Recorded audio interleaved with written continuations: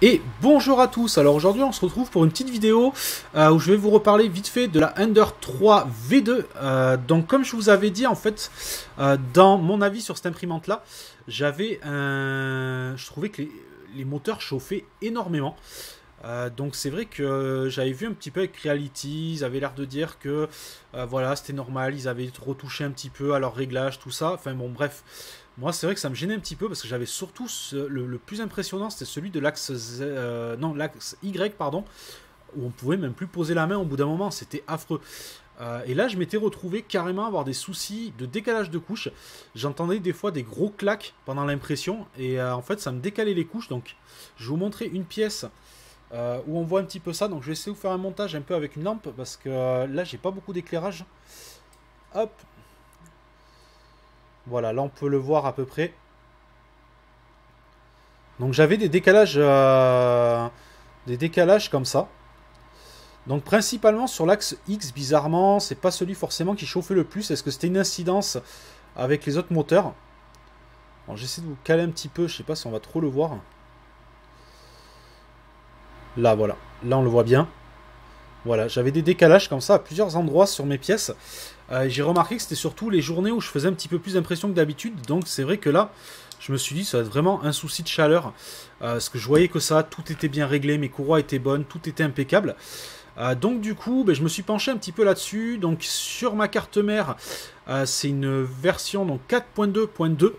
Ah, donc en TMC 08, 2208. Donc dessus, on peut régler, même si c'est les drivers soudés, on peut régler la, le VRF du coup. Donc euh, euh, je pensais qu'on pouvait pas sur la V2, mais apparemment si sur, euh, enfin du moins si vous avez la même carte, la V4.2.2, il n'y a pas de souci.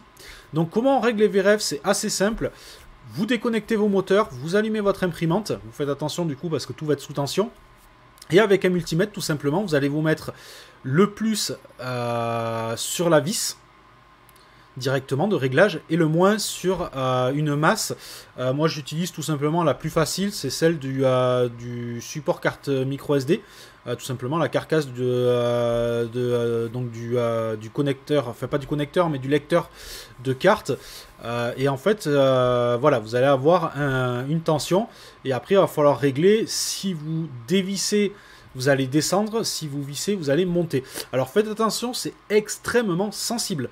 Euh, c'est-à-dire que votre réglage va varier énormément. Euh, n'allez pas faire un quart de tour, surtout pas. Euh, c'est vraiment, des fois, rien que de pointer le tournevis, déjà, ça vous suffit pour arriver à la valeur voulue. C'est hyper sensible. Donc moi, quels sont les réglages que j'ai utilisés? Donc je me suis guidé un petit peu d'un forum parce que j'ai eu beaucoup de mal à trouver des infos là-dessus. Euh, et sur un forum, j'ai trouvé une personne qui avait partagé un petit peu ses réglages. Euh, et j'ai essayé de me mettre grossièrement un petit peu comme lui. Euh, donc là, actuellement, moi, je suis réglé pour X, Y et Z. à 1,15 précisément, donc j'ai mis 1,15 volts. Alors j'ai fait ça sur les trois, même si Creality a tendance à mettre le Y plus bas que les autres axes. Mais j'ai vu que la personne conseillait de le faire comme ça, et en effet, mon, euh, mon Y ne chauffe pas plus, même si du coup, lui, je l'ai un petit peu augmenté au lieu de le descendre. Donc, euh, voilà, donc X, Y, euh, oui, donc à 1,15 j'ai mis, et pour euh, l'extrudeur, j'ai aussi baissé un petit peu. Euh, je me suis mis à peu près à 1,30, euh, sachant que j'étais à quand même 1,45 ou 1,50 d'origine. Ça m'a paru énorme parce que même d'ailleurs, c'est même pas les valeurs préconisées. les valeurs Creality sont à 1,38 à peu près pour l'extrudeur et moi, il était à 1,50. donc c'est vrai que voilà, j'en ai profité. Je l'ai baissé à peu près à 1,30. la personne conseillait à peu près entre 1,27 et 1,35 grossièrement. Euh, et là, pour l'instant, donc ça, les, moteurs sont beaucoup plus froids. Euh, ça a changé même, c'est même assez radical. Euh, je suis plus proche de ce que je sors à peu près avec ma Under 3 V1. à savoir que moi, mon axe Y, il y avait des moments où on ne pouvait même pas le toucher. C'était vraiment extrêmement chaud. J'avais essayé de mettre des petits, des petits radiateurs donc collés et c'est pareil, ça suffisait pas.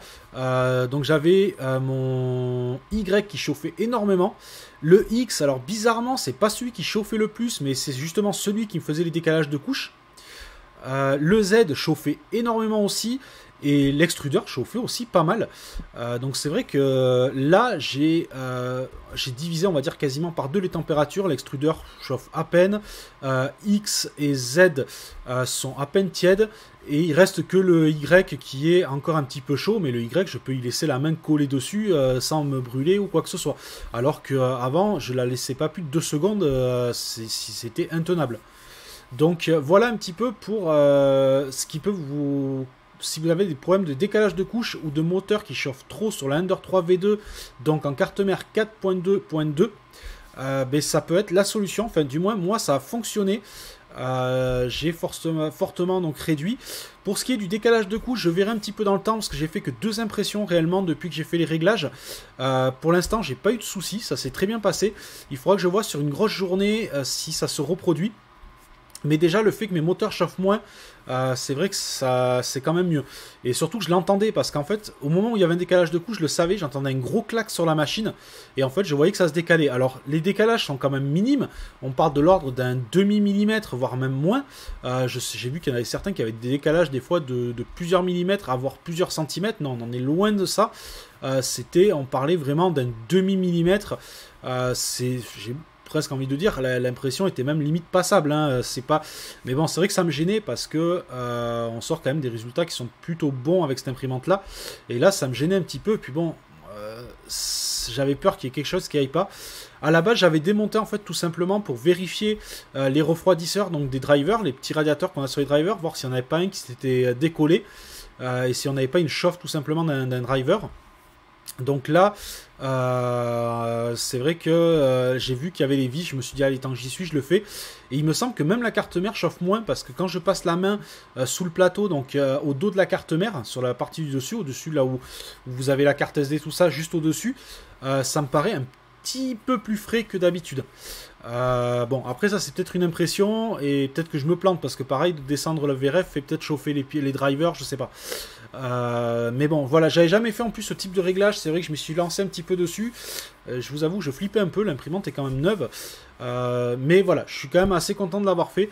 Donc je répète, voilà, pour refaire un petit résumé, si vous êtes en version 4.2.2, donc X, Y et Z, vous le mettez à 1.15.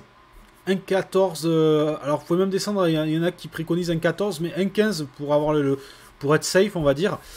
1,15 et pour euh, l'extrudeur, moi j'ai aucun souci voilà à 1,40 euh, grossièrement, 1,30 euh, pardon, à 1,30 ça, ça fonctionne ça fonctionne bien. J'ai pas de j'ai pas de souci non plus et ça chauffe surtout beaucoup moins. Donc voilà, n'hésitez pas. Alors dans les commentaires, je ne peux pas trop vous aiguiller si vous avez d'autres cartes ou autres, euh, parce que je connais pas les VRF, euh, les valeurs, donc pour d'autres cartes. Euh, et puis celle-là, je vous avoue j'ai pas mal bataillé pour trouver l'information de ce qui était pas mal à utiliser. Euh, donc voilà, j'espère que ça vous aura aidé. Euh, j'essaierai de répondre à vos questions, mais là je vous avoue que je suis quand même dans un terrain, on va dire, un petit peu plus glissant. J'ai moins l'habitude de travailler directement sur la carte mère comme ça, de, de régler, mais pour l'instant, voilà, je tenais à le partager parce que ça fonctionne. Allez, sur ce, je vous dis à une prochaine vidéo. Ciao, ciao.